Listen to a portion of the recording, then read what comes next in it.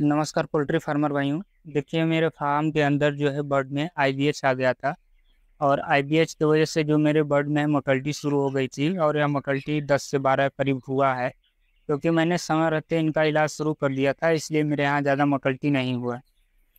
और आईवीएच आने का जो कारण था, फ़ीड था, क्योंकि फ़ीड में नमी लग गई थी। क्योंकि देखिए, जब आप फ़ीड डालते हैं तो 24 घंटा के अंदर अगर फ़ीड नहीं खाता है बर्ड तो फ़ीड में नमी लगने लगता है। तो आप उतना ही फ़ीड डालिए अपने बर्ड को जितना चौबीस घंटा में फ़ीड बर्ड खा जाता है। क्योंकि देखते जैसे कि आप फीडर पर देख रहे होंगे, ये डस्ट जमा हुआ है। तो ये डस्ट धीरे धीरे नमी की वजह से काला पड़ने लगता है, फंगस बनने लगता है। और जो मेरा फ़ीड आया था तो उस समय बारिश वगैरह हो रहा था तो बारिश से बचाने के लिए हमने उसको गाड़ी में से अपने फार्म में रखना शुरू कर दिया। तो उसके वजह से जो है, थोड़ा बैग भींग गया था। और बारिश में हम उसको सुखा भी नहीं सकते थे कि उस समय रेगुलर बारिश हो रहा था, पर डे हर दिन, कोई भी दिन बाकी नहीं जा रहा था। तो उस समय जो है बर्ड वही दाना खा रहा था।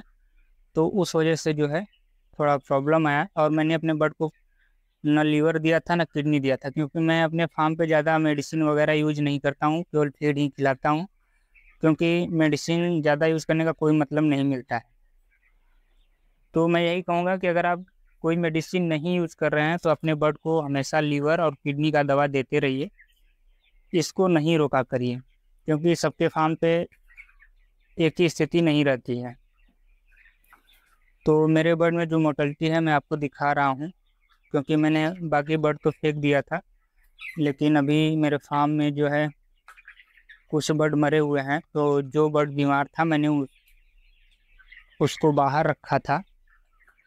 क्योंकि जब भी आपके फार्म के अंदर बर्ड कोई बीमार रहता है तो पूरे बर्ड में से उसको छांट कर अलग रख दें। क्योंकि उससे होता क्या है कि जो पूरे बर्ड में इन्फेक्शन है, फैलने का डर नहीं रहता है।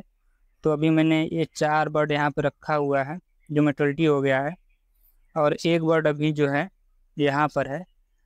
जो भी तो है, देखिए इसका क्या होता है। क्योंकि मैंने इन लोगों को दवा वगैरह पिलाया था, लेकिन अभी तो ठीक होने का कोई चांस नहीं लग रहा है। ये हो सकता है कि ठीक हो जाए, लेकिन मुश्किल है। फिफ्टी फिफ्टी चांस है क्योंकि बहुत ही हल्का हो गया है। और मैंने इनको जो दवा चलाया था आईबीएस में, आपको बताता हूँ। अगर आपके फार्म पे आईबीएस कभी आ जाता है तो आपको ज़्यादा घबराने की ज़रूरत नहीं है, बस समय रहते हुए आप उनका इलाज शुरू कर दें तो आपका ज़्यादा मोटलिटी वगैरह नहीं होगा। ये देखिए चेरीटॉल है। ये आपका जो है टॉक्सिन वगैरह कम करता है, लीवर टॉनिक है। तो इसके जगह आप कोई भी टॉक्सिन बाइंडर यूज़ कर सकते हैं और लीवर टॉनिक यूज़ कर सकते हैं। कोई भी मतलब ये नहीं कि यही यूज़ करिए। और यह है एवरान डी एस यह आपका जो है विटामिन है, जो आपका सभी विटामिन की कमी को पूरा करता है और यह एक आयुर्वेदिक दवा है। तो इसके जगह आप कोई भी vitamin C vitamin D use कर सकते हैं।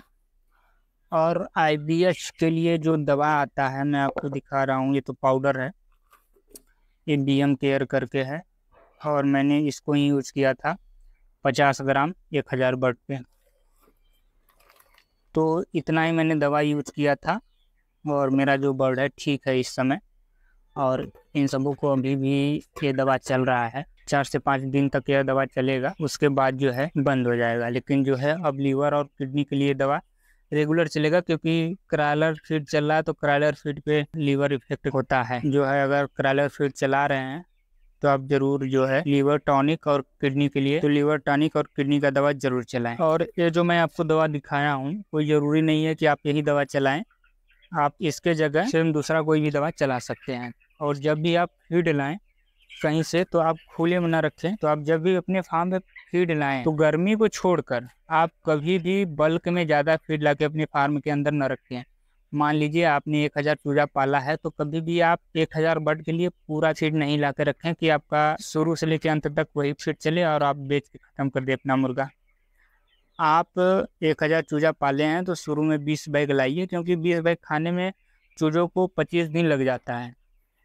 तो ऐसे में जो है फ़ीड ख़राब होने का डर रहता है और फ़ीड जो है एक महीने से ज़्यादा अपने फार्म पे रखना भी नहीं चाहिए बरसात और जाड़े के मौसम में। तो आप करें क्या कि जो फ़ीड लाएँ, आप दो शिफ्ट में लाएँ बीस बीस बैग करके। पहले तो शुरू में बीस बैग लाएँ, उसके बाद जितना आपको लाना है उतना लाएँ, क्योंकि उसके बाद तो जो आपका बर्ड है तैयार होकर बिक जाएगा।